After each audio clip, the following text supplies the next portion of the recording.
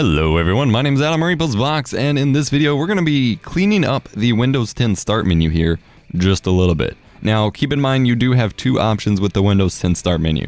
If you're on a desktop, you can either use it in normal desktop mode, which is a bit, only a bit, more similar to the Windows 7 and previous version Start menu, or you can use it in full screen mode by going to Settings, Personalization, Start, and then use Full Screen Start. And then when you click the start button, it's going to pop it up in full screen mode. You can click this icon over here to bring up that normal start menu and you have your start menu mode ready to go. I, however, prefer the normal size, so I'm going to turn off that.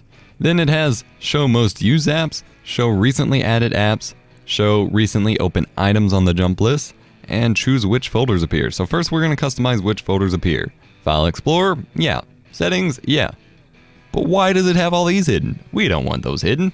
So I'm going to use documents, mu downloads, music, pictures, videos, and network. You can customize these to your heart's content. Those are the ones I wish. Then when we click start, once it realizes what I'm doing, it has all those pictures, those folders there. However, it's getting rid of a lot of application shortcuts. However, look at this. If I put my mouse over one of the edges, I can make it taller. So since I have a very high resolution display, I can make my start menu take up a heck of a lot of space because it's only ever going to be there to be used. It's not going to be up all the time. So when I hit Windows key, it is right there. So you can also customize the size, which makes it really nice when you're adding a lot of crap to it like I am. Then you can tell it whether or not to show your recently added or most used apps and your most used items. I think this looks pretty cool. Alright, so we're going to close that personalization menu for a moment. Then we're going to pull up our giant start menu now. And here you, there's where it has the most used apps, and there's where it has the most recently added apps. But let's go down here to all apps and see this view. Now see, this pulls up a vertical list of all of your apps that you have installed. Think for a second, and if there's something that you regularly use that you don't have on your taskbar but you would still like somewhere, you can right click it and go to pin to start. Now when you pull it up, it's going to be over here in its own pin section. They do have various sections like Windows 8 did, and so you can then name your group. So I'm going to call this, uh, I'm just going to call this pinned items for now. I'll customize it for myself later. And then you can move where it goes. So for example, I want my pinned items at the top. So I'm going to put it at the top. Go over here to all apps, scroll through, find another app, uh, File Hippo App Manager. I mentioned that in another video. You also take a look at the other options you have. You can still run it as administrator like previous versions of Windows. You can open up where that shortcut is. You can uninstall the program from this menu, or you could even pin it to the taskbar. I'm going to pin it to start and then drag it over here to my group. Wow, and you can even customize like how far apart the squares are, which is pretty cool. So let's take a look at what default groups it has here. It has Play and Explore, which has Xbox. I'm going to leave that up for right now because I want to explore that a little bit.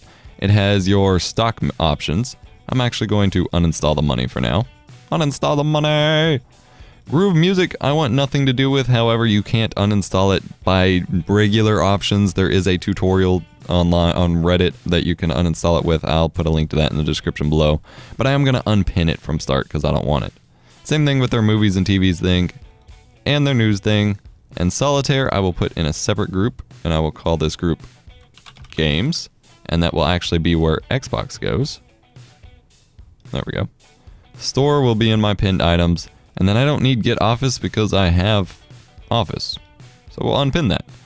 And then we can start dragging and dropping stuff. So now we have Life at a Glance over here, which is actually pretty useful because it has my photos, Cortana, Mail, Calendar, Microsoft's web browser, the Weather app, OneNote, Phone Companion, etc. Except with the weather app, I'm going to make it bigger. I'm going to right click it and go to resize, and we can go to small, medium. It's on medium right now. This is small, just like in Windows 8 where it's literally just an icon. Wide is a too wide icon, which is really good for the live tiles. Let me put this back up here and see it, it can even be centered. Or large, which makes it that size. So it's starting to function a lot more like Android, which is really neat. Now I gotta open it up here so I can get the live tile going again. And we're gonna put in our location, and it's 87 degrees right now. It is hot. So I'm gonna close that.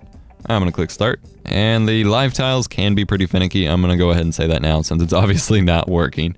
Um, but you can also, if you don't want live tiles going, you can right click and turn that off. So for like Xbox, I don't need it constantly changing icons. So I'm to go ahead and turn that live icon, live tile off because it doesn't do me any good. There we go. Weather is updated. Look at that big old weather box. That's really freaking cool. I'm sorry, but that is awesome. I get a whole five day forecast, forecast as long as the current, as well as the current temperature and the day and, you know, whether or not it's sunny. That is awesome. So you should totally do that. And then of course OneNote will function the same as it does in Windows 8. And then as you can see down here where it says all apps, it does tell you whether or not you have new apps installed. So we're going to go through and see what all it has installed for us. What the heck is 3D Builder? That's not something I had anything to do with. Oh, Windows 10 comes with a 3D library. This is probably to function with some of that Intel scanning stuff that they had. So I'm going to click this. Yeah, you have a whole 3D modeler here. That's pretty neat. I don't know if that came with it or it installed it from the store for some reason, but I don't really want it right now, so I'm going to right click and I'm going to uninstall it, because I can do that. Let's look at other things. It installed Angry Birds for me. I don't want Archery Master. Well, uninstall that. I don't want all of it. Basically, it's installing everything that was installed on my Surface for some reason, like this Tetris clone. Um, so all you gotta do is just right click them and go to uninstall. Unfortunately, for a while, at least until you reinstall them or something, it's going to only show folder icons for your Windows desktop apps, but that's alright. They got a new camera app, so let's take a look at that.